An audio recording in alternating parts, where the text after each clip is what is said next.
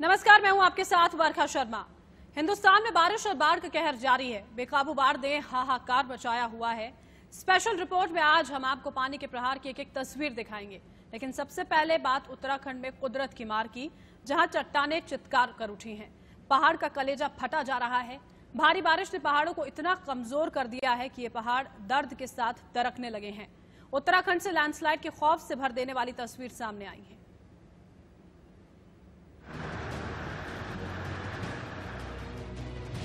इसे पहाड़ का सरेंडर करना नहीं तो क्या कहेंगे?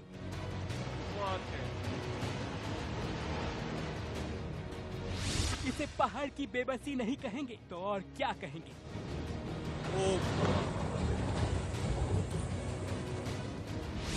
इसे चट्टान की चित्कार नहीं कहेंगे तो फिर क्या कहेंगे? कुदरत की मार के आगे पहाड़ कैसे बेबस हो जाते हैं? उसकी जीती जागती गवाही दे रही हैं। ये तस्वीरें।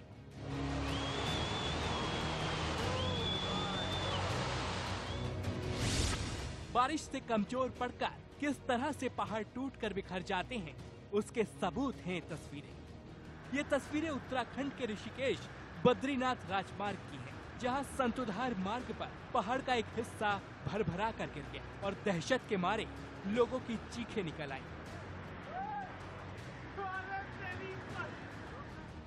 पहाड़ में जब दरार आने लगी, तब इस कदर जोरदार आवाज़ हुई कि इस मार्ग से गुजरने वाले लोग सतर्क हो गए।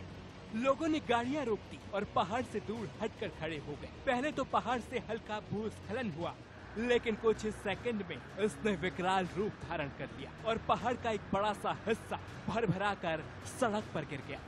जो लोग पहाड़ के धंसने की तस्वीरें अपने मोबाइल में कैद करने के लिए खड़े थे, वो लैंडस्लाइड होते ही भाग खड़े हुए। डर ये था कि कहीं पहाड़ का वो हिस्सा भी न गिर जाए, जिधर लोग खड़े हैं। चाहे लैंडस्लाइड हुआ उस रास्ते पर गाड़ियों की लगातार आवाजाही होती रहती है। गनीमत ये रही कि लैंडस्लाइड से पहले ही लोगों को इसका आभास हो गया था कि पहाड़ धड़कने वाला है। इसलिए लोगों ने होशियारी दिखाई और अपनी अपनी गाड़ियाँ रोक दी। नहीं तो जिस तरह से पहाड़ टूटकर सड़क पर गिरा, उसकी चपेट में कई गाड़ियाँ आ सकती थी और एक बड़ी अनहोनी हो जाती।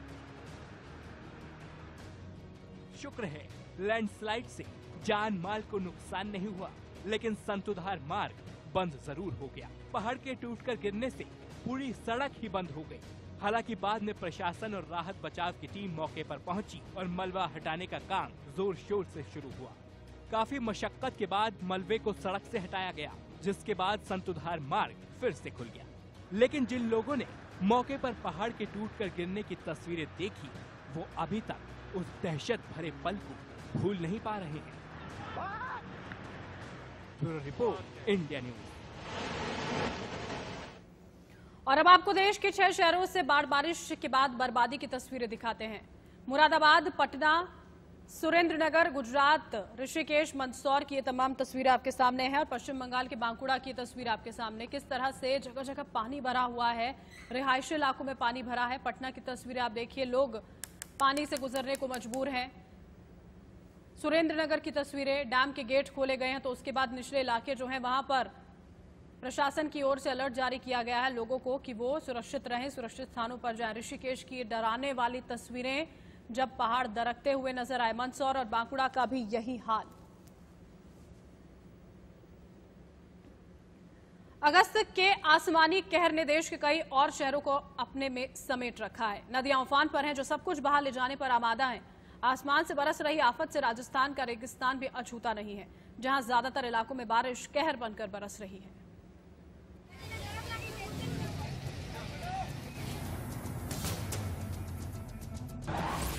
रेगिस्तान हुआ पानी पानी।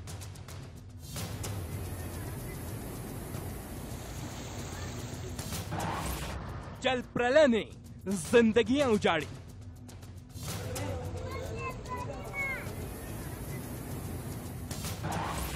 राजस्थान में उफान, आफत में जान।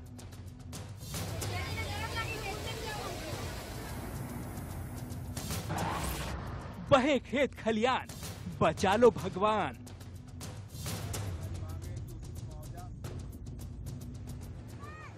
राजस्थान में कहीं बाढ़ तो कहीं बारिश के कहर ने लोगों का जीना मुहाल कर दिया है। गाँव ही नहीं शहर शहर में भी बारिश के पानी ने अपने आगोश में समेट रखी है। अगस्त के आसमानी कहर ने देश के कई और शहर को अपने में समेट रखा है। छबड़ा ग्रामीण क्षेत्रों में अधिक बारिश होने के कारण नदी नाले उफान पर हैं, तो वहीं दूसरी ओर मध्य प्रदेश के विभिन्न बांधों और डैमों से छोड़े गए पानी से छबड़ा के समेत गुकोर पार्वती नदी के तेज बहाव ने गाँव के कई राज्य मार्ग को बंद कर दिया है। वहीं पार्वती पुलिया पर दो से ढाई फीट पानी आ जाने से छबड़ा गुना मार्ग भी कल बीती रात से पूरी तरह से बंद है। चलिए आपको राजस्थान के एक और जगह की तस्वीर दिखाते हैं, जहाँ 18 घंटों की बारिश में ही शहर और गाँव जलमग्न हो गए। ये तस्वीर राजस्थान के धरियावाद की है, जहाँ मूसलाधार बारिश के चलते क्षेत्र की क्रमोचनी नदी उफान पर है। क्षेत्र में जारी बारिश के चलते क्रमोचनी नदी का जलस्तर लगातार बढ़ता जा रहा है। वहीं गाँव में बने पुल पर करीब छह फीट से अधिक पानी बह रहा है, जिसके चलते धरियावाद प्रतापगढ़ मुख्य मार्ग का संपर्क कर चुका है।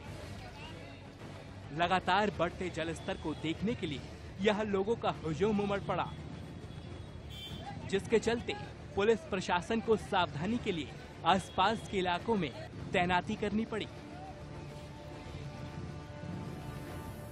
चलिए अब आपको राजस्थान की तीसरी तस्वीर दिखाते हैं, जहाँ बारिश के कहर ने लोगों के जीवन को अस्त व्यस्त कर रखा है। ये तस्वीरें राजस्थान के सलुम्बर क्षेत्र की हैं, जहाँ बीती रात को मूसलाधार बारिश लालपुरिया नदी टीडी नदी गरगल नदी और नाले सभी उफान पर। जावर माइंस झाड़ोल बाड़ा में नदी का पानी गाँव के आसपास के घरों तक पहुँच चुका है। लालपुरिया नदी पुल पर करीब 12 फीट ऊपर से बह रही है। उदयपुर से चावड़ और लालपुरिया का मार्ग से संपर्क टूट चुका है। साथ ही सैकड़ों गाँव में बिजली के खंभे भी टूट गए हैं। बीते दो दिनों की रात से भारी मात्रा में बारिश होने की वजह से बिजली भी कई गाँव में गुल है। Bureau report, India News. और वहीं मध्य प्रदेश के ज़्यादातर जिलों में नदियाँ उफान पर हैं। बर्बादी का आलम ऐसा है कि कई शहरों और गाँवों का संपर्क तट टूट गया है। नर्मदा नदी के कारण गाँव में दर्जनों से ज़्यादा घरों में पानी भरा है। लेकिन मजबूरी ऐसे कि लोग इस हालात में भी अपनी जान जोखिम में डाल साल के बाद बेतवा का जल स्तर इतनी तेज़ी से बढ़ा है। हम इस समय खरबई के जाखा पुल पर मौजूद हैं और यहाँ पर बेतवा ने अपना रौद्र रूप दिखा रखा है। मैं अपने कैमरामैन से गुजारिश करूँगा कि वो आपको दिखाए कि यहाँ पर बेतवा पूरे खेतों में फैली हुई है और किस जो किसान थे, उनकी धान की फ़सल इस समय बेतवा के रौद्र रूप में पूरी समा चुकी है। वहीं आपको बता दें कि विगत दो दिन की बारिश हो रही है, जिसके कारण बेतवा नदी अपने उफान पर है और बेतवा के का उफान पर आने के बाद खरबई के आसपास के जो क्षेत्र हैं, इसके आसपास जो गाँव हैं, उन सभी से घरों में पानी भरा गया है। गाँव के गाँव का संपर्क टूटा हुआ है और करीब एक दर्जन गाँव का बेतबा के कारण सड़क संपर्क टूट चुका है, जहाँ बेतवा ने अपना उग्र रूप दिखाया है। वहीं आपको बता दें कि बेतवा ने इतना उग्र रूप पिछले दो साल में पहली बार इतना तेज दिखाया है, जिसके जिसके कारण कई गाँवों के घरों में बेतवा का पानी भरा गया है। वहीं आपको ज़िले की अगर बात की जाए तो ज़िले के बारना डैम के आज छः गेट खोले गए देर रात से, जिससे पच्चीस हज़ार क्यूसेक पानी छोड़ा जा रहा है। वहीं अगर हलाली डैम की बात कर ली जाए तो हलाली डैम में मात्र एक फिट की कमी बची है, जिससे कि वो पूर्ण हो जाए। चलिए आपको मध्य प्रदेश रायसेन की दूसरी तस्वीर दिखाते हैं। ये तस्वीर रायसेन के नेशनल हाईवे 146 के बसे पगनेश्वर गाँव की है। बाढ़ के आगोश में पूरा गाँव तबाही के कगार पर खड़ा है। बेतवा नदी में बढ़ते जल स्तर की वजह से गाँव के कई मकान पानी में डूब गए हैं। वहीं नेशनल हाईवे 146 पर महज एक साल के अंदर ही दरारें आ गई हैं। बाढ़ के पानी ने पुल को काफ़ी नुकसान पहुँचाया है। जिसके बाद यहाँ सफ़र करना खतरनाक हो गया है। नेशनल हाईवे 146 जी हाँ हम इस समय नेशनल हाईवे 146 पर मौजूद हैं और आप मेरे पीछे ये देख सकते हैं, ये पगनेश्वर नदी पर बना वो पुल है, जिसको बने हुए अभी एक साल भी नहीं हुआ है और ये पुल जगह जगह से पूरा बैठ गया है और पुल के नीचे बड़ी बड़ी दरारें आ गई हैं। और पुल के जो नीचे की मट्टी थी वो पूरी तरीके से धस चुकी है। वहीं ये पुल पूरी तरीके से ये बैठक खा चुका है। इस पुल में कभी भी बैठ, बड़ा हादसा हो सकता है, मगर जिम्मेदार अधिकारी और जो रोड बनाने वाली कंपनी है, उसके जिम्मेदार अधिकारी जिनकी ये गारंटी है कि पाँच वर्ष तक इसमें कोई भी काम होगा, वो करके देंगे, मगर इस, इस कंपनी के कोई भी कर्मचारी अभी तक इस रोड की हालत देखने नहीं आए हैं। चलिए आपको मध्य प्रदेश की एक और तस्वीर दिखाते हैं। एमपी के बुधनी में नर्मदा नदी पूरे उफान पर है। नर्मदा नदी की वजह से गाँव में दर्जन से अधिक घरों में पानी भर चुका है। लोग इस हालत में अपनी जान जोखिम में डालकर सड़क पार करने को मजबूर हैं।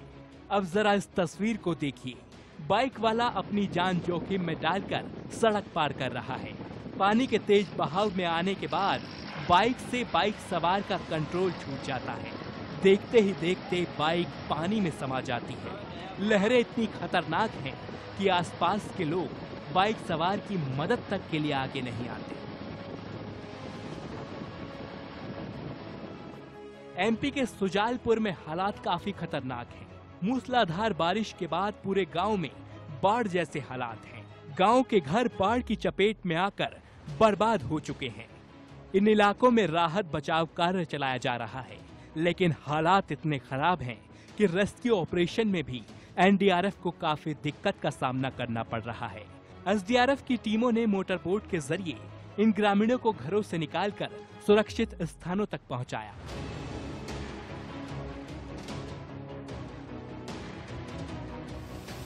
एमपी के इंदौर में भी बाढ़ का कहर जारी है।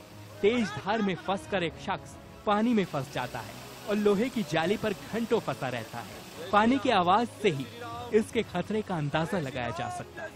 पूरी रात इस खतरनाक मंजर के बीच शख्स अपने रेस्क्यू का इंतज़ार करता रहा। इस रास्ते से गुजर रहे एक शख्स की नज़र जब रेस्क्यू के इंतज़ार में फंसे शख्स पर पड़ी, तब कहीं जाकर पुलिस और राहत दल की मदद से इसकी जान बचाई गई।